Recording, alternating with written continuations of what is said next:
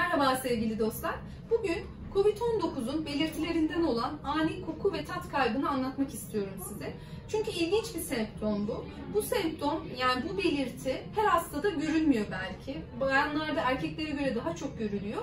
Ama e, belirgin bir özelliği var. Şöyle ki burun tıkanıklığı olmadığı halde koku kaybı yaşıyorsanız bir an önce kendinizi karantinaya almanızı ve en yakın zamanda da testinizi yaptırmanızı tavsiye ederim.